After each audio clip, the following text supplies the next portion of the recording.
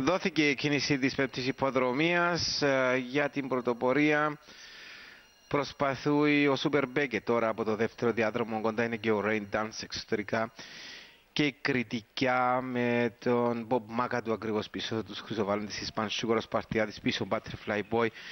Κριτικιά κάνει την προσπάθεια για να περάσει τον Σούπερ Μπέκε ακριβώς στη στροφή όμως δεν θέλει να καταψήσει στο ο Σούπερ Μπέκε Σούπερ Μπέκε και Κρητικιά σε γρήγορο ρυθμό. Πέντε με πιο πίσω Rain Dance, ο Μπομπ Μάκατου, Χρυσοβαλάντης, Ισπαν Σούκαρ, Σπαρτιάτης και πίσω Butterfly Boy στο χιλιάρι.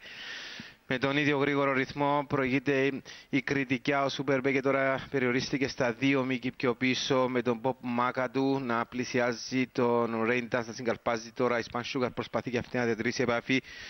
Έχουμε περάσει το 800 με την Κρητικιά να βρίσκεται στην πρωτοπορία. Δύο μήκη μπροστά από τον Σούπερ Μπέκε. Πιο πίσω Μπομπ Μάκατου πλησιάζει και η Σπαν Σούκαρ όμως πλησιάζει στο 600 κριτικιά στην πρωτοπορία ο Σούπερ Μπέκε ο Μπομπ Μάκατου στα δύο μήκη πίσω τους τώρα η Σπαν Σούκαρ προσπαθεί να κάνει το τελικό φίνι στην πίσω όμως ακόμα στο τελευταίο 400 με τον Σούπερ Μπέκε να πλησιάζει αλλά και ο Μπομπ Μάκα του Ισπαν Σούκαρ ακολουθεί κριτικά πιέζεται εκ νέου από τον Σούπερ Μπέκε Μπομπ Μάκα του στα δύο μήκη πίσω τους Ισπαν Σούκαρ τώρα προσπαθεί με το τελικό φίνις της κριτικά και Σούπερ Μπέκε Ισπαν Σούκαρ και ο Σπαρτιάτης τώρα μάχη μέχρι τέλους με την κριτικά στην πρωτοπορία να επιμένει Σούπερ Μπέκε και ο Μπομπ Μάκα του στην εσωτερική. Ισπαν Σούκαρ η κριτικά έχει τις δυνάμεις στα δύο μήκη ο Σούπερ Μπέκε Ισπαν Σούκαρ η οποία είναι δυνατή στο τέλος κριτικά Στη νίκη όμως Παν Σούκαρ, Σούπερ Μπέκε και Μπομπ Μαγατού.